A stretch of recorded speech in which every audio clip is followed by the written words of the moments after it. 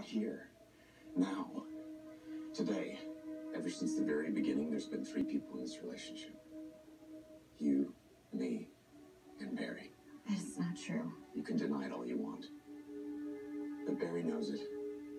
Joe knows it. And if I'm going to be completely honest with myself, I knew. I always knew. I guess I just thought I could love you enough to change things. I'm sorry. But if you really do love me, we'll let this end. Fine. Do let it end.